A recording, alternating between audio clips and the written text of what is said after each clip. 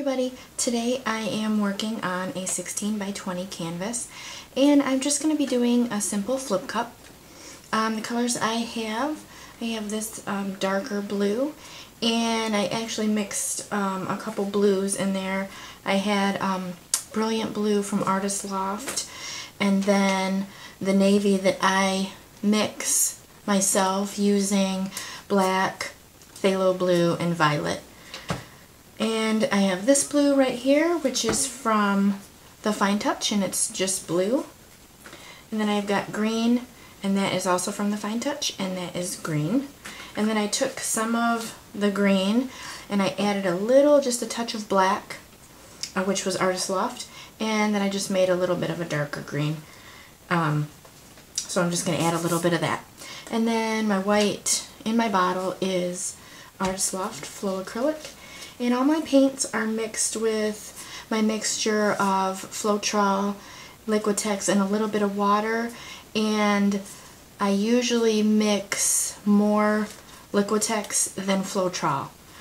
Alright, so I'm going to get started. And I'm just going to start with the darker blue in the bottom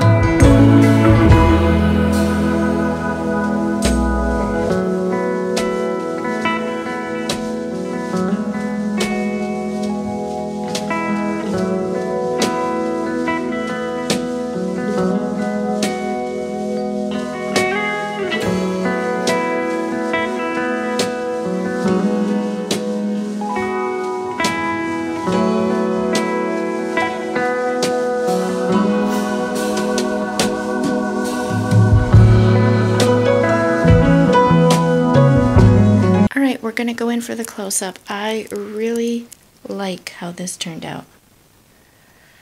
That's kind of cool. Looks like a dragon. At least a dragon's head, anyway. But these colors look really, really pretty. And there's a lot of cells that popped up. Um, no silicone at all, so I'm not sure if I said that in the beginning of the video, but I did not use any silicone in any of my paint. So I really like this one. Very, very happy with it. That looks really cool. And I like this spot right here. It almost looks like a flower. It's really pretty. Alright, well thank you guys for watching. Don't forget to like my video, subscribe to my channel, check out the links in my description, and if you are interested in this painting, it's not going to be in my Etsy store quite yet. You can contact me through one of my links. Um, I think my email is in there. Um, it's tracielreed at gmail.com. All right, thank you guys. Have a great day.